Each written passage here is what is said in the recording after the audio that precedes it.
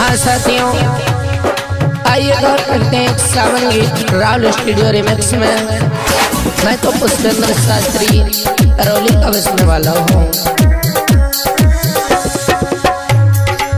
झूला